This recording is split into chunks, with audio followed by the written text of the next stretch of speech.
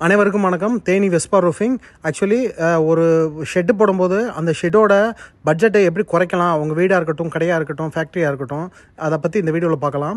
First நீங்கள் எந்த ப்ராண்டை choose பண்ணுறீங்க அப்படின்றது ரொம்ப முக்கியம். ரொம்ப பட்ஜெட் அதிகமாக வச்சுருந்தீங்க அப்படின்னா ஜேஎஸ்டபிள்யூ போகலாம் இல்லை பட்ஜெட் கம்மியாக இருக்குன்னா ஏஎம்என்எஸ் பிராண்டு போய்க்கலாம். ஓகே கண்டிப்பாக பிராண்டாக தான் இருக்கணும்.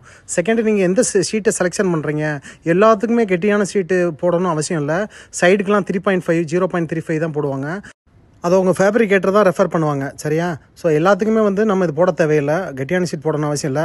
மூணாவது ஃபேப்ரிகேஷன் சார்ஜ் இது தான் ரொம்ப மேஜர் காஸ்ட் பெர் ஸ்கொயர் ஃபீட்டுக்கு எங்கள் கம்பெனி ஃபேப்ரிகேட்டர்னால டுவெண்ட்டி டூ ருபீஸ் சார்ஜ் பண்ணுவாங்க. பட் உங்கள் ப்ரைவேட்டாக வெளியே கொண்டு வரும்போது ஒரு one or two three rupees increase ஆகுங்க சரியா? Fourth type of roofing shed roofing செட்லேயே நிறைய வெரைட்டி இருக்கு இல்லையா?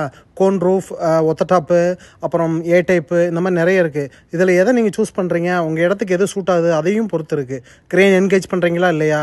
ஓகே ரூஃபிங் சீட்டை பற்றி நிறைய தெரிஞ்சுக்க தேனி வெஸ்பா ரூஃபிங் ஃபேக்ட்ரியை விசிட் பண்ணுங்கள் தேங்க்யூ